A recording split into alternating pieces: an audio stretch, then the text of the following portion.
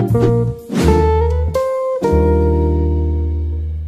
Spider-Man 2, film del 2004 sempre diretto da Sam Raimi e con protagonista Tobey Maguire nel ruolo dell'arrampicamuri più famoso e amato dei fumetti e che questa volta dovrà affrontare uno dei suoi nemici più famosi di sempre, ovvero il Dottor Octopus interpretato da Alfred Molina. Dopo il successo del precedente capitolo era logico che Sony mettesse in cantiere un seguito con sempre alla regia Sam Raimi, ma con la sceneggiatura scritta questa volta da Alvin Sergent Sargent, non so come si dice, che per questo seguito decise di puntare sul percorso interiore del protagonista, sui suoi conflitti e sul peso delle responsabilità che gli sono cadute sulle spalle, arrivati a causa dei suoi poteri. E Raimi, contribuendo al tutto, ci inserì dentro la trama del famosissimo Spider-Man No More, il tutto contornato dalla lotta con Doc Ock, la storia d'amore con Mary Jane e la rivalità con Harry Osborn. E con tutta questa carne al fuoco, sarà riuscito Raimi a tirar fuori un film migliore del precedente?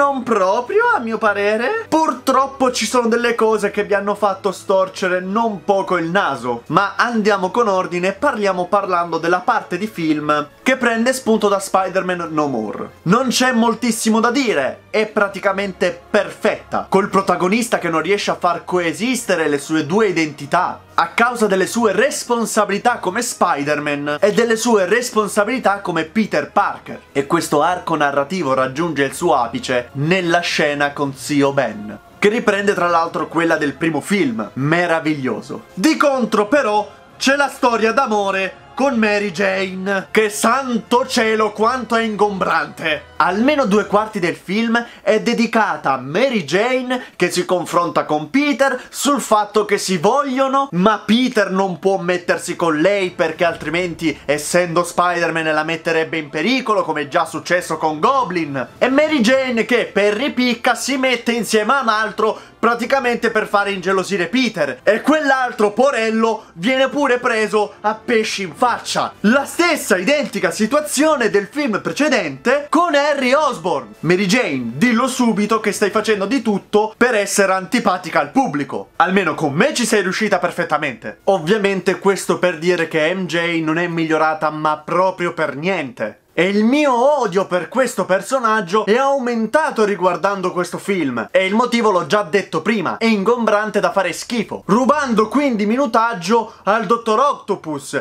che è un'altra delle cose che mi hanno fatto amare questo film invece. Per la seconda volta infatti Sam Raimi azzecca il casting per un cattivo, prendendo per la parte Alfred Molina, che non solo è identico alla sua controparte fumettistica, ma lo ha interpretato in maniera divina. Il suo legame con Peter, poi, per quanto sia approfondito in una sola scena, viene reso speciale da alcuni dialoghi, fino a quando non si arriva al discorso sull'amore. Mio Dio, basta Mary Jane, basta! Basta! Il fatto che poi lui sia controllato dalle braccia lo rende anche un personaggio molto tormentato. All'inizio infatti non vuole dare ascolto ai suoi nuovi amici. Ma dopo essere stato convinto, tutto quello che fa lo fa di sua spontanea volontà, anche se leggermente condizionato, e non solo leggermente. E la sua redenzione alla fine lo rende il personaggio migliore del film. Grazie anche alla frase non voglio morire da mostro. Mi vengono i brividi solo a ripensarci. Harry Osborn invece sinceramente non pervenuto. È ossessionato da Spidey perché lo crede l'assassino del padre. E basta. E questa è la sua trama, che lo porterà poi ad essere uno dei villain del terzo film, eh, va bene. Però mi spiace, ma non riesco a sopportarlo. Nel film è odioso, odioso quasi quanto Mary Jane. E questo difetto, perché è un difetto dal mio punto di vista, se lo porta dietro dal primo film. Avrei preferito infatti che ci fosse stato un maggiore approfondimento per lui, ma così purtroppo non è stato. E so già che nel terzo sarà ancora peggio. Ah. E non ho cambiato opinione nemmeno su Tobey Maguire. Soprattutto in questo secondo film lo trovo ancora più fuori luogo nella parte, ma riconosco comunque il suo impegno e dà il suo meglio nelle parti già citate prima, quando perde i poteri, nelle scene con Dr. Octopus. Insomma, il caro Toby ci ha messo l'anima e lo riconosco, nonostante la sua interpretazione non mi piaccia granché. C'è da dire però che in questo film la parte da sfigato è fin troppo accentuata, con delle scene che dovrebbero essere divertenti, ma che in realtà risultano imbarazzanti, come quella dei fiori, per fare un esempio. E secondo me è anche un po' colpa di Maguire, che ha un po' una faccia di fantoziana memoria, per così dire. Ma menzione d'onore al personaggio migliore della cinematografia mondiale.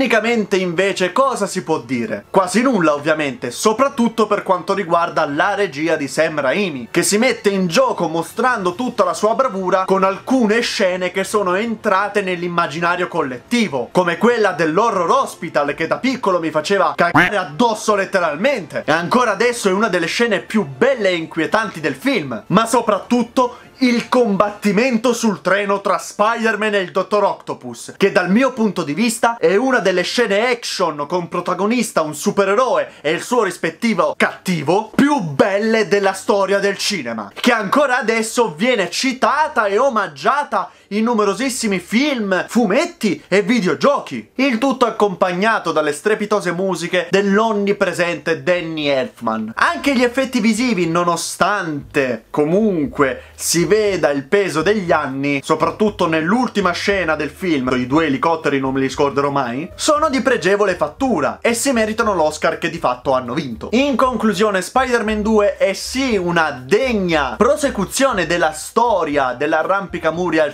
cinema, con un ottimo cattivo e un ottimo arco narrativo dedicato alla perdita dei poteri, ma che ha comunque al suo interno delle sottotrame inutili e troppo ingombranti, come la storia d'amore con Mary Jane. Sì, la odio, la odio Mary Jane, la odio in questi film, la odio, la odio! E che purtroppo quindi non mi fanno piacere questo secondo capitolo più del primo. Ma comunque a livello qualitativo, soprattutto tecnico, li metto entrambi sullo stesso piano, mentre per i combattimenti questo secondo capitolo lo ritengo un gradino nettamente sopra. E tu sei d'accordo con la mia opinione o sei completamente in disaccordo? Dimmi la tua scrivendo un commento qui sotto. E con questo amici e amiche il video finisce qui. Vi ringrazio per l'attenzione e vi do appuntamento al prossimo video. Ciao a tutti!